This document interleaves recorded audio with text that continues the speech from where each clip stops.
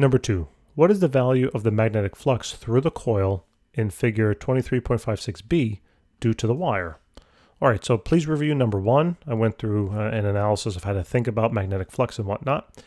So in order to figure out now the value of the magnetic flux, all right, we have to now uh, remember the formula that it's the magnetic field multiplied by the area multiplied then by the cosine of the angle between the normal of the area and the magnetic field. What's the normal of the area? It's simply the perpendicular line, all right, that uh, would intersect the plane of the area. Further detailed analysis is going to be in number one. So here's the normal to the coil, all right.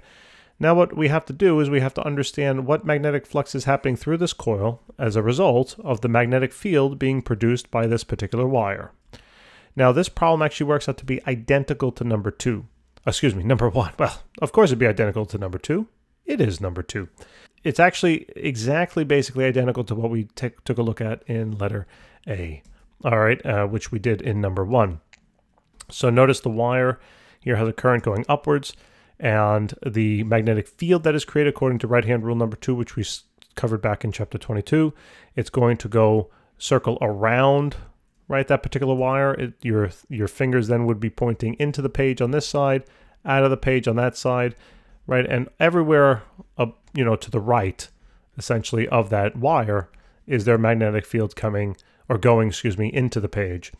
Uh, and therefore, uh, we have the same exact conclusion as last time. The angle between these now magnetic field vectors and the normal here is 90 degrees, and the cosine of 90 is equal to a big old zippo. So this whole thing goes to zero, so the magnetic flux is equal to zero.